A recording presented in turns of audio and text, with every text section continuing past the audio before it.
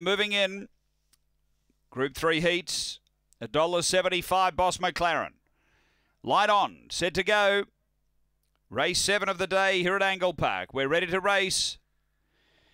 Ready and racing, and uh, patchy start. There's speed from Hot Desert Storm. Boss McLaren booting through. Then Long Gully Keith driving up behind the Miss Breakout out of the straight. Uh, then came behind those Herculean, Galactic Titan, and Springvale Lizzie down the back. Hot Desert Storm and Boss McLaren. Boss McLaren takes over now. Uh, third is Miss Breakout. Then came Herculean. They were followed by Long Gully Keith and well back Springvale Lizzie up to the turn. Boss McLaren straight and nicely clear of Hot Desert Storm and Miss Breakout. And the fave too good. Boss McLaren by three. Hot Desert Storm second. Then Miss Breakout. Next Springvale Izzy. Uh, then Galactic Titan behind those Herculean. And uh, back at the tail end, Long Gully Keith. The run here is around, in fact, it's 29.91.